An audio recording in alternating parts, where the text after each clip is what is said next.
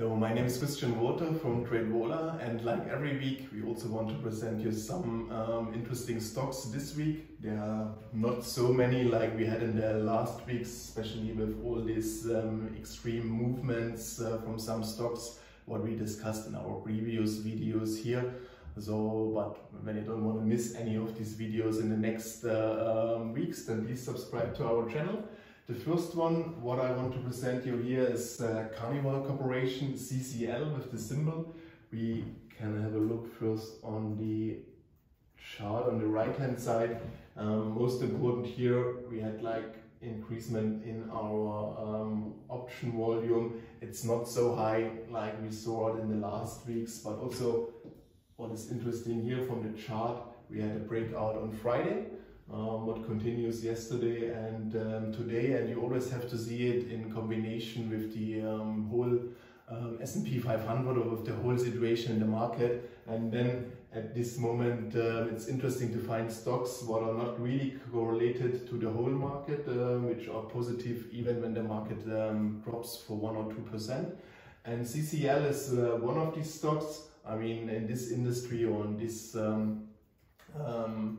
yeah, part. We see many other companies um, like Norwegian Cruise Line or also like uh, airlines are coming now a little bit like American Airline um, and um, these stocks are performing quite well at the moment. Another one, what was um, a signal or an interesting um, stock from yesterday is um, ExxonMobil. Here we saw quite a few big trades. First of all, the biggest volume was on the 8th of February. This was at the end, the beginning of uh, the breakout, I would say. But also yesterday we had um, quite a high option volume and here it's pretty much the same. Um, there are quite a few bets that ExxonMobil will move above the uh, $55 um, in the next few weeks. Um, of course, we don't expect anything what is similar to the wheat stocks, what we discussed, or to GameStop or anything else. But um, like I said before, it's interesting to find some stocks um, which are moving um, in a positive direction when the market is not going that well. And um, even if the market is going down more, these stocks might be also having the same trend then, um, but as soon as the market recovers, these stocks might be the first ones uh, who outperform the market in the same way like they do it now. Um, and yeah, ExxonMobil is one of these, um, quite interesting. The other one is also a very big um, company, what everyone knows. This is Disney. Disney, we had several news here. Disney is the, at the moment um, on his all-time high.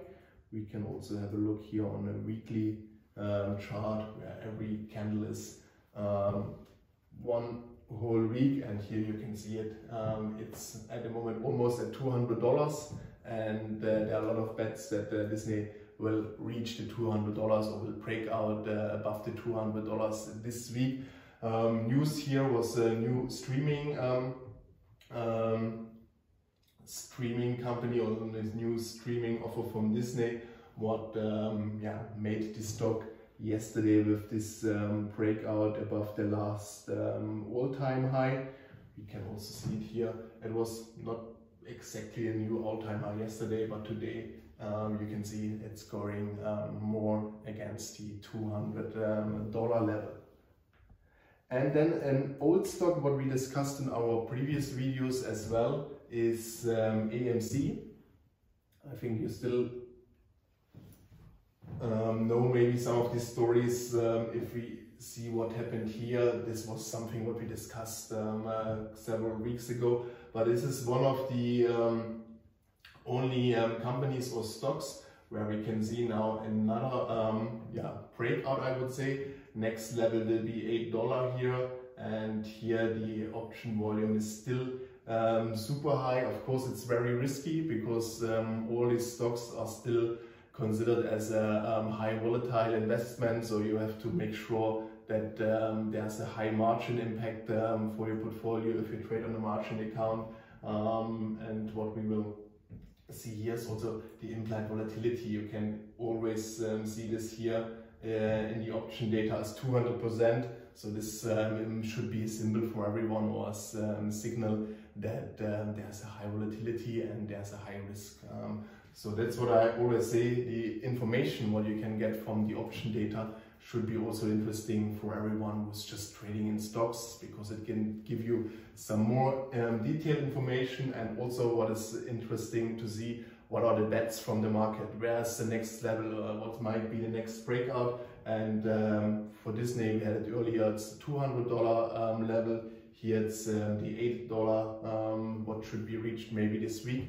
And um, on the other hand side, for Carnival Corporation, what we saw earlier, I think it was um, 20, $25 and for Exxon Mobil we saw quite a lot of bets for $55 in the next few weeks even though um, stock is almost reaching this level.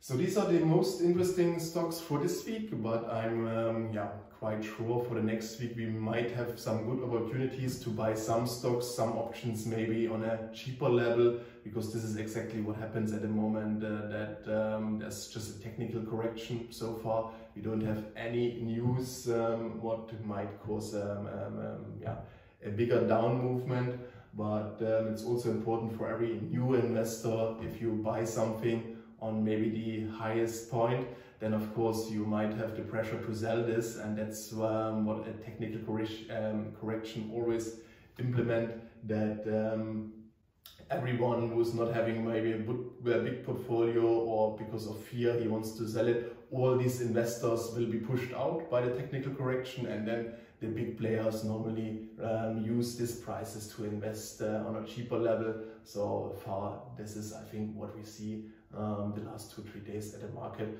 But um, still interesting. We will keep you updated with um, all interesting stocks also the next week. So please, please subscribe here to our channel to not miss any of the upcoming videos.